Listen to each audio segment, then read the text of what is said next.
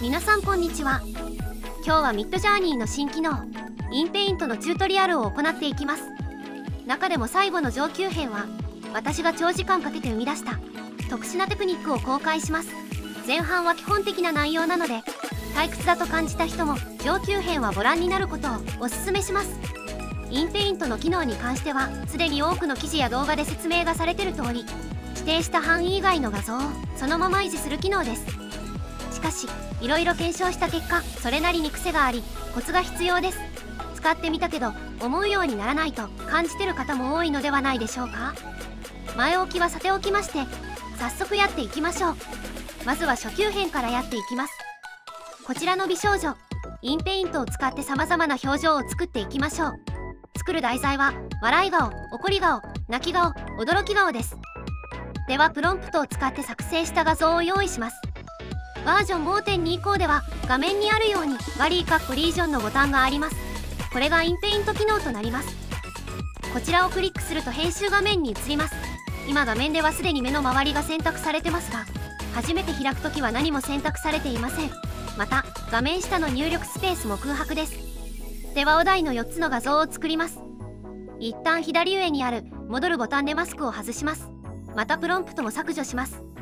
選択ツールで顔全体を選択します。プロンプトにクライングと入力します。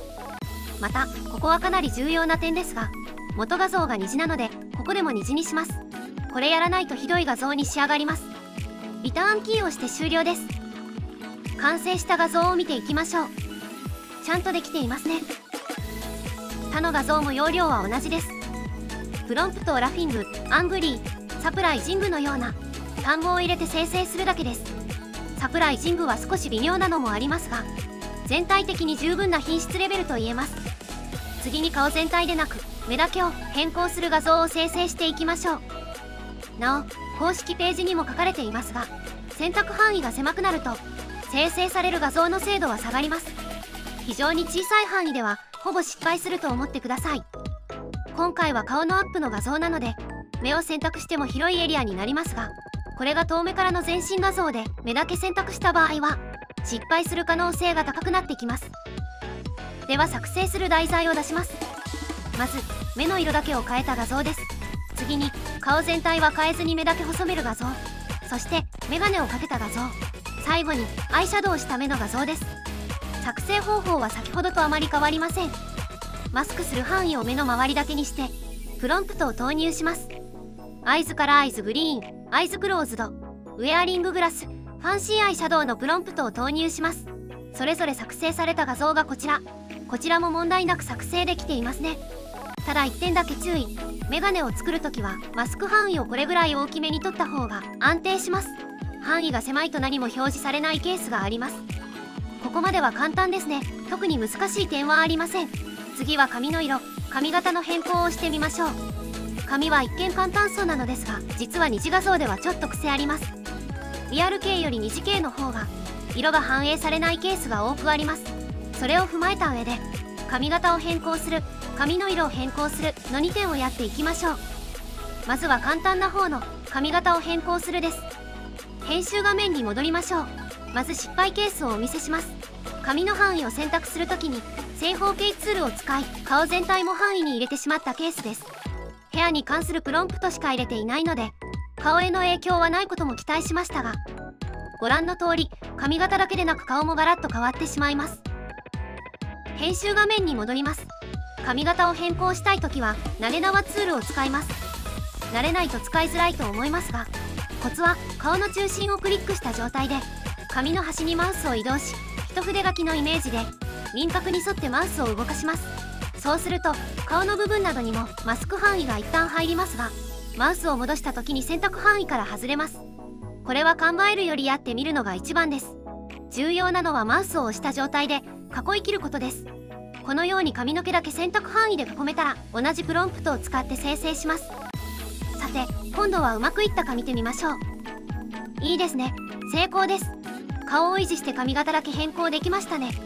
続いて髪の色を変えるですがこちらは成功率が結構低いです。髪の毛の範囲をきれいに選択できないと成功率が下がります。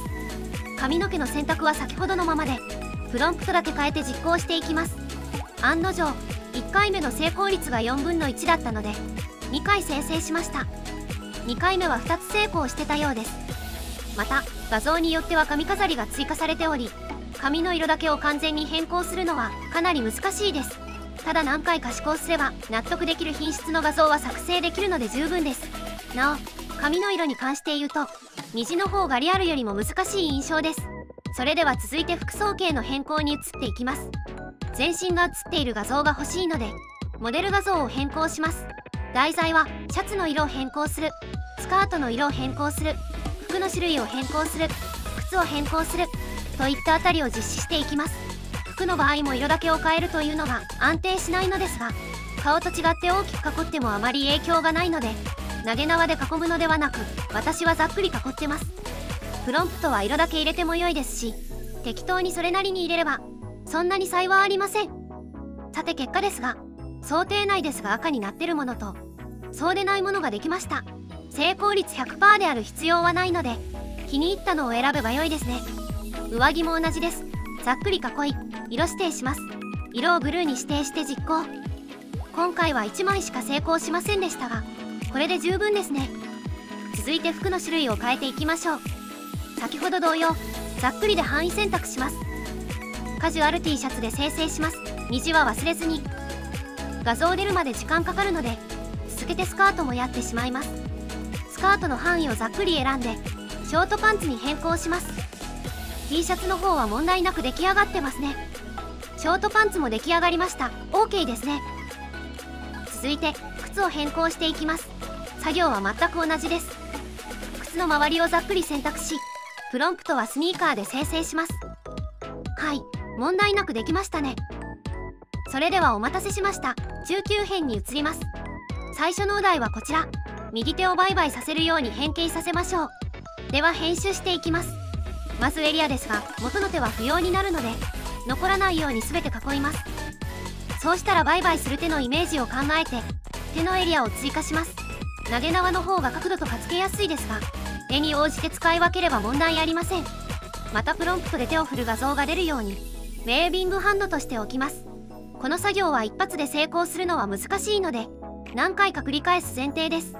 できましたね。U2 が一番良さげなので選択します。少し手のひらが大きいですかね。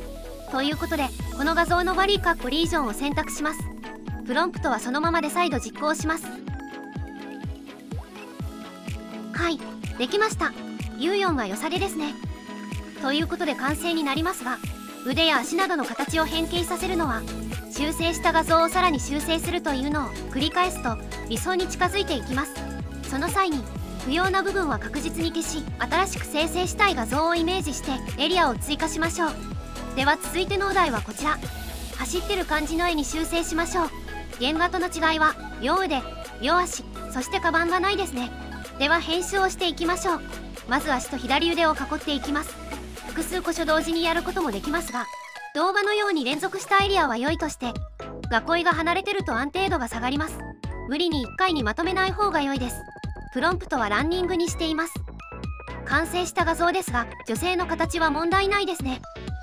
しかし不要な水しぶきなどが入り込んでます。ということでもう一回囲い範囲を修正します。余計な画像が入らないようにスペースを減らして囲っていきます。腕も同様にスペースを減らして囲います。プロンプトは変更なしで実行です。できました。あ今回も水しぶきが入ってしまってます。つまり囲い範囲の問題ではありませんでした。次の対策としてプロンプトで対応をしていきます。再度編集画面に戻りプロンプトにノースプラッシュウォーターを追加します。ダブルハイフンノーは生成したくないものを指定するコマンドです。このコマンドはうまく動作しないこともありますが試す価値はあります。さて画像が出てきました。水しぶきは消えてくれましたね。ではこの画像を使って続きをやっていきます。編集画面を開きます。まず左腕にあるカバンがおかしな形になってるのでここを修正しましょう。特にこうしたいという形はないのでプロンプトはそのままで囲っていきます。スペルがランニングなのでカバンは消えると思います。さあどうでしょうか？カバン消えましたね。手の感じからして1番か3番。3番を選ぶことにします。ここで右足の向きが逆になってることに気づいたので足先を修正しておきます。これはプロンプト変えずに足先加工だけで OK です。あんまり範囲広かったりするとまた余計な背景が出たりするのでそこだけ注意しましょう。さて画像ができましたが足は OK ですね。4つの中から U1 を選択します。残すは右腕だけです。では再度編集画面を開きます。まず消したい腕の部分を選択していきます。続いて新たに作りたい腕の形をイメージして範囲を作ります。イメージは肘が90度ぐらいに曲がって腕を前に振っている感じです。良い感じにできました。4番が一番好みです。U4 を押してお題画像が完成です。以上で中級編は終了です。いよいよ最後になりました。最後上級編です。ではお題を出します。こちらの画像はミッドジャーニーで普通に生成したものですが背景を変えずに女性を任意のキャラに変更します。変えるキャラクターはガウルグラです。知らない人もいると思うので軽く説明します。ホロライグ社に所属している VTuber で世界トップクラスの人気を誇っています。外見はご覧の通りサメをモチーフにした可愛いキャラクターです。ということで元画像の女性をこのガウルグラにすることがお題です。では出来上がりを先に見せますが最終的にこの画像を作成します。もう気づいた方もいると思いますがこれができるということは好きな背景に好きなキャラを好きなポーズで登場させられるということ。ワクワクしますよね。では作業を進めていきましょう。まずガウルグラの絵の生成方法から説明しますがこれは以前の私の動画を見られてる方はご存知かもしれませんがガウルグラの用紙を安定して出力するための下準備作業をします。準備は10分もあれば十分です。ウェブサイトや YouTube 動画から画像を保存します。保存する画像が4個以上あった方が良いです。また全身画像を作りたいのであれば全身の画像。横向きや後ろからの画像も欲しければ類似体制の画像を保存しておくと安定度が高くなります。私の場合キャラごとにミッドジャーニーチャンネルを作成しチャンネル内に画像を貼り付けています。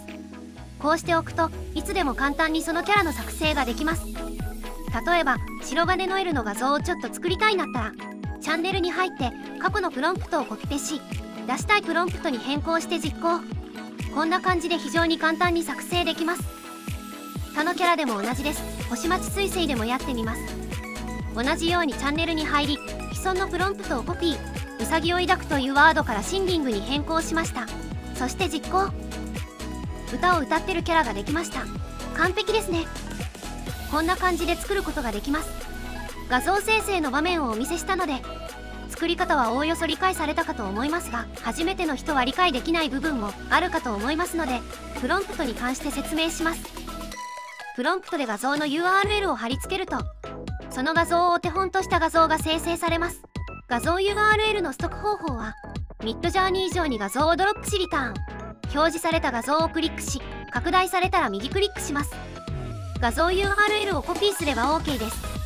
URL 以降は作成したい画像の特徴を単語で追加したり変更すれば OK です。この際に元画像を生成した単語と大きく異なる要素を入れると失敗しやすくなります。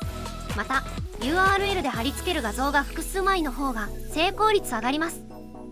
ただし AI の難しいところは必ずしも毎回そうならない点で想定通りにならない場合は元画像を変えたり枚数を増減して調整します。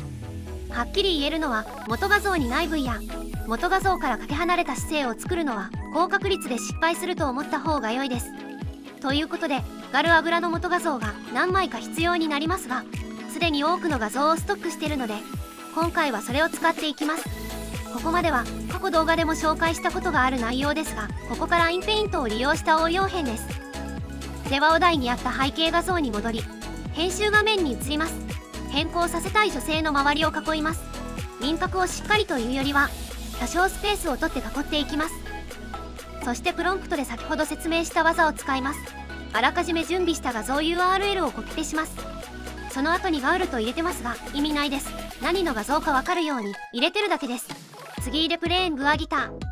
元画像がギター弾いてるのでおそらくなくても大丈夫ですが成功率上げるために入れてます。